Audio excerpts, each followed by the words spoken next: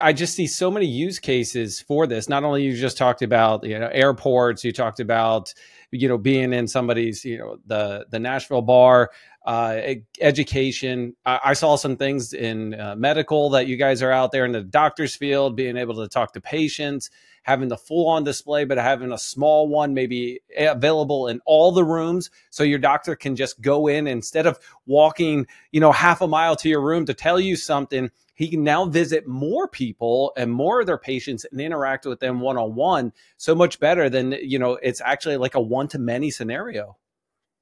Absolutely. You can beam in the brightest minds from around the world into some of the most rural and remote locations. Uh, oftentimes we, we see that children in some cases are struggling to learn because teachers are at a shortage in a lot of these smaller towns in, in distant locations. So now imagine beaming some of the smartest brains from all over the country, from all over the world into these locations.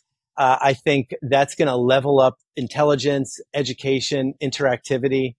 And then on the healthcare side, I, I, I can see into the future to a place where uh, we are embedded, our technology is embedded in senior living facilities and uh, retirement communities. Why is that important? Why would holograms be great there? Well, because uh, people of a certain age, as they get as they get older, uh, they become more isolated, and proto technology will help combat loneliness.